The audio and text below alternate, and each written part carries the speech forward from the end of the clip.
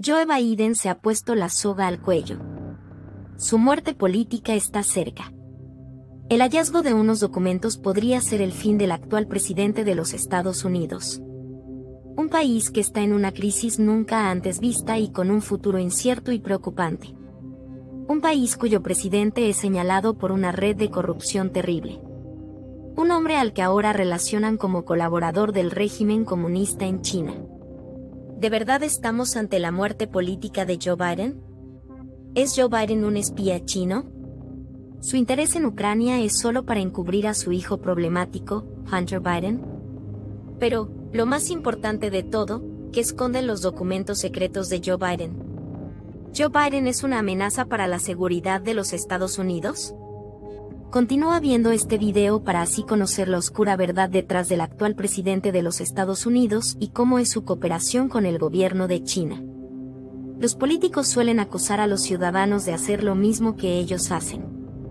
Si hay una regla que puedes tener en cuenta, es que los que tienen el poder siempre te culparán por sus propios pecados.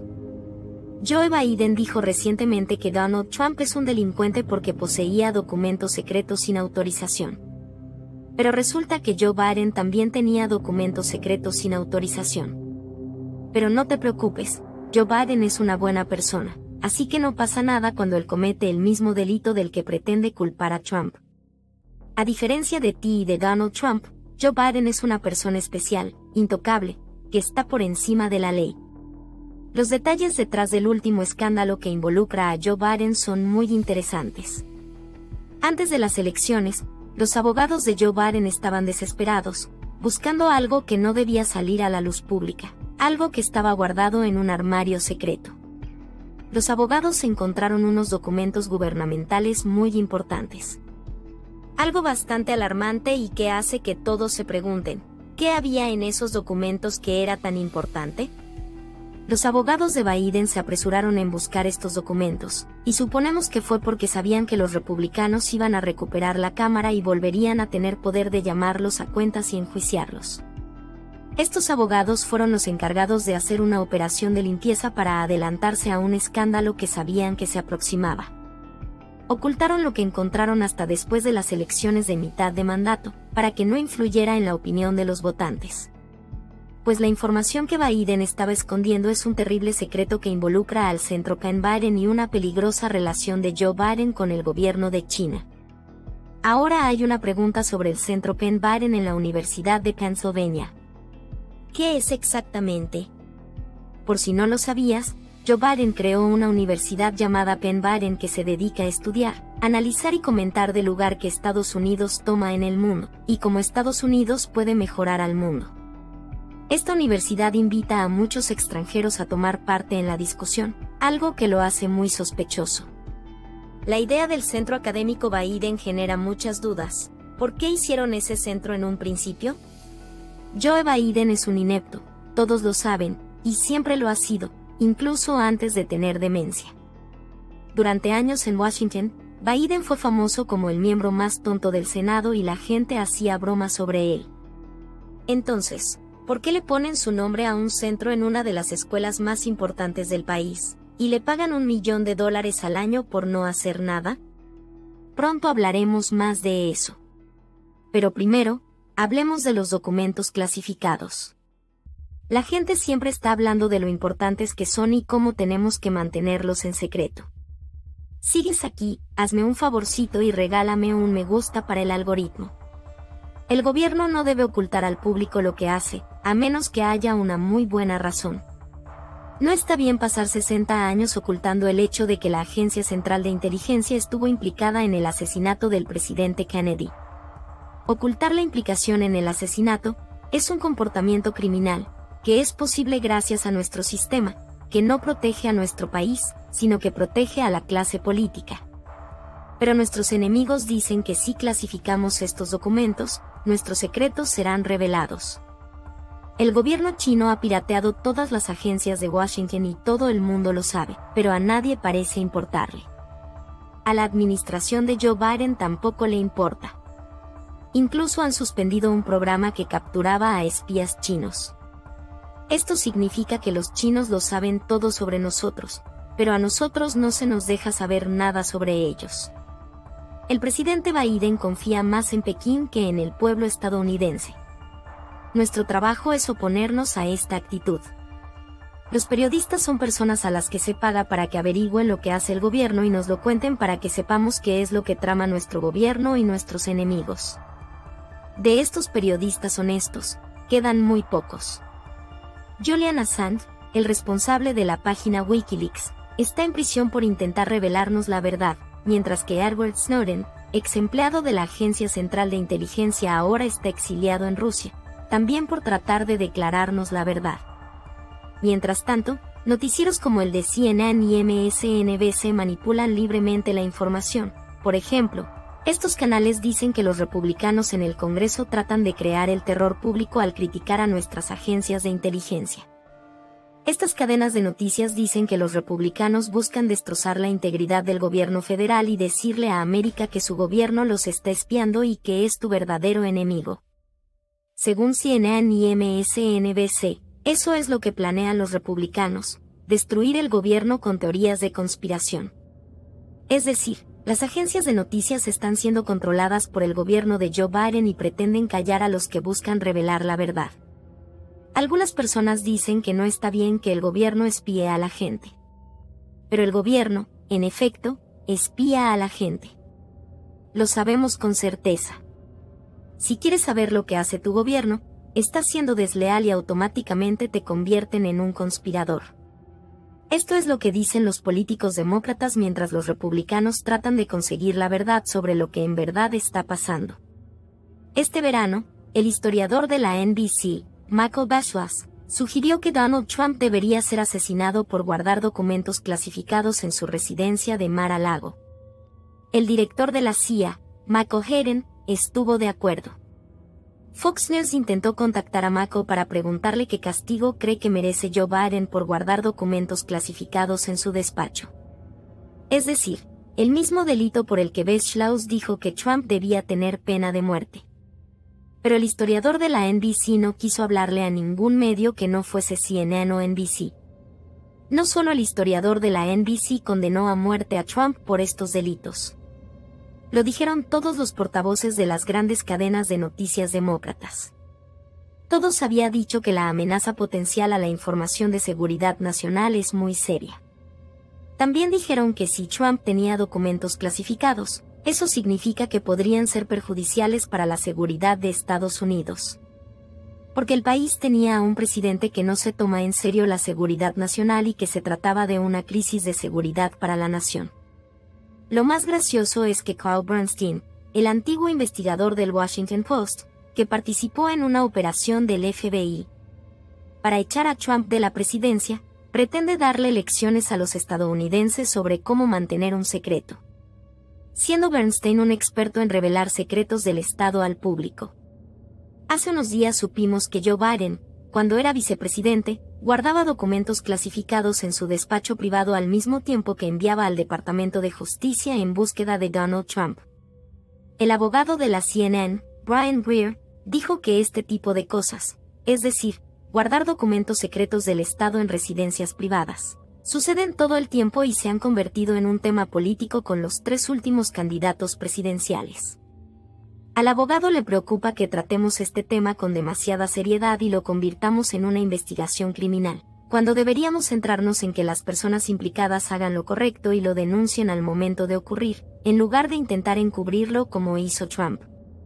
Desde hace 25 años, las personas que trabajan en los noticieros por cable pueden afirmar que no siempre había un empleado del FBI que te dijera la verdad.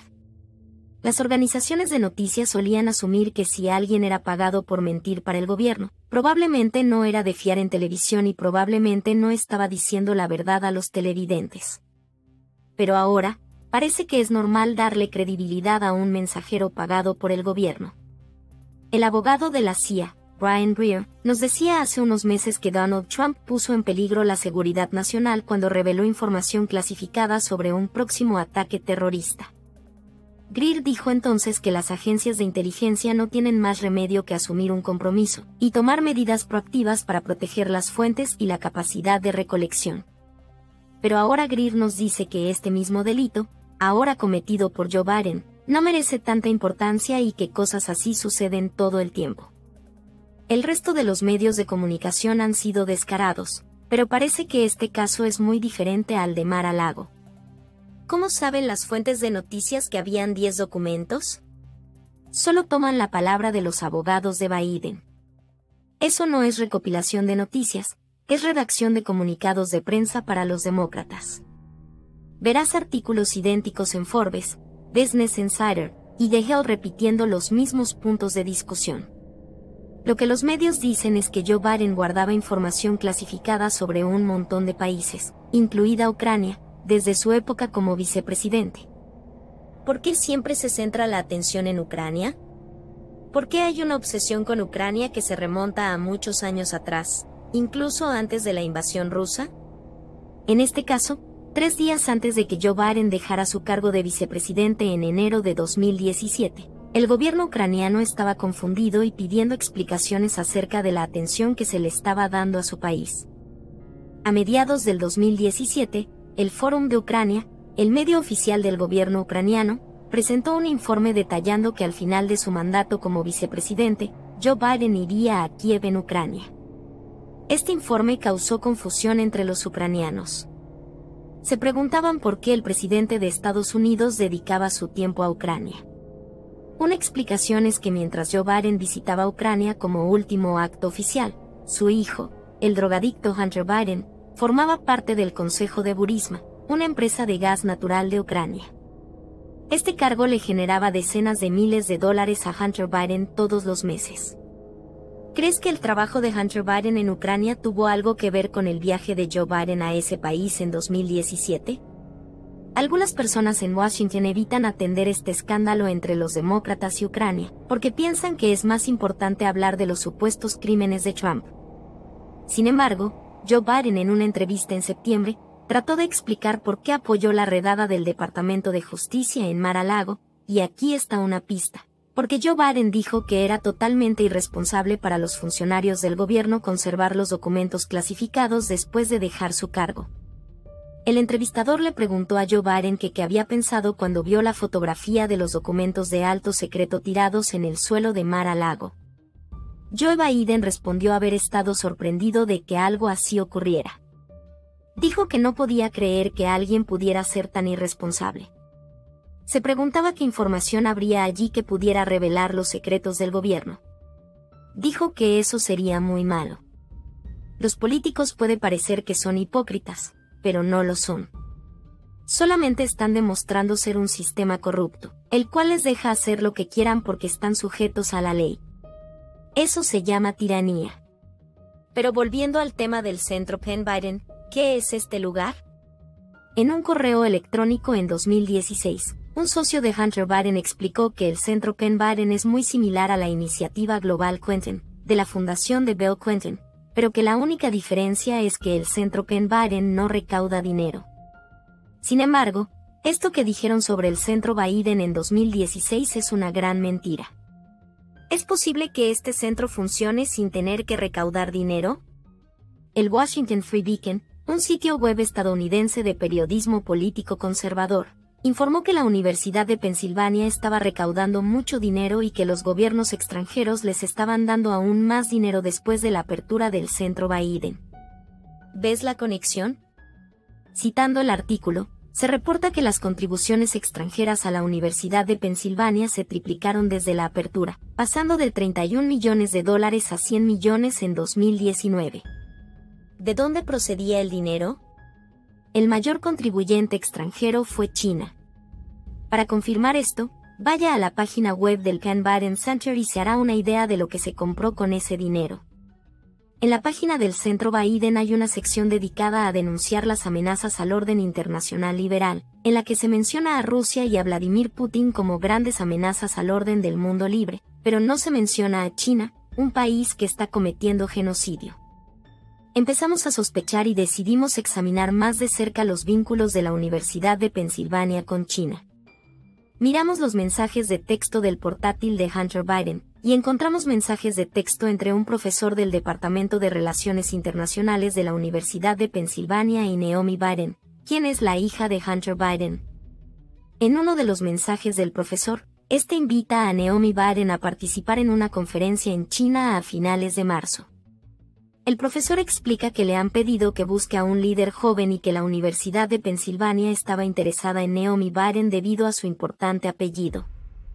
Además, el mensaje añade que Naomi Biden se hospedaría en alojamientos controlados por el gobierno chino y que todos los gastos de su viaje y estadía serían cubiertos por el régimen comunista de China. La Universidad de Pensilvania, una de las escuelas más prestigiosas de los Estados Unidos, envió una invitación en nombre del Partido Comunista Chino a la nieta de Joe Biden. La gente en la televisión parece preocupada por la seguridad nacional y como Donald Trump es una amenaza para los estadounidenses pero no hace ninguna pregunta sobre los crímenes que ha cometido Joe Biden y su preocupante relación con China. Te felicito por llegar al final de este video, eres genial, aquí está otro video que nos encantaría que vieras. Espero que te haya gustado muchísimo, no olvides dejar tu suscripción y tu comentario. Gracias y un saludo muy grande.